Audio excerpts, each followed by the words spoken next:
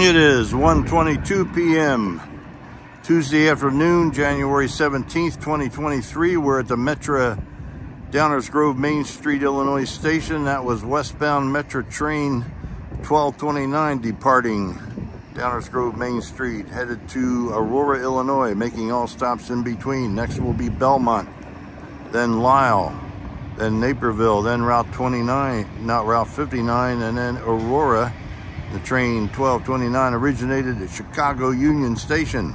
We're looking west down the Burlington Northern Santa Fe Railway all the way Chicago subdivision, also known as the racetrack in the East End. And now we're looking at the original real McCoy, Downers Grove, Main Street, Chicago, Burlington, and Quincy, the Burlington route passenger station. Burlington route everywhere west. Now we're looking east down the BNSF and now it is 1.24 p.m. Tuesday afternoon, January 17th, 2023, 39 degrees Fahrenheit, 16 mile per hour winds, rather windy over and out.